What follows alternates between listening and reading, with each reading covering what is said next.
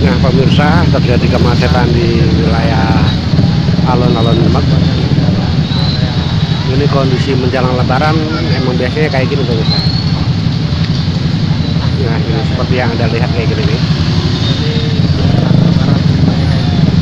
Apalagi ditambah hmm, para para perantau yang sekarang udah pada mudik. sekarang udah pada mudik Kayaknya mereka berantusias untuk mengunjungi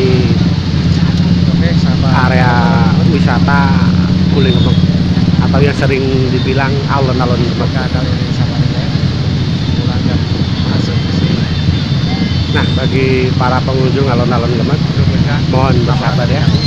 Berhubung padatnya dan antusiasnya masyarakat untuk mengunjungi alun-alun Demak. Semoga kali Demikian sedikit info dari saya. Salam alun-alun Demak.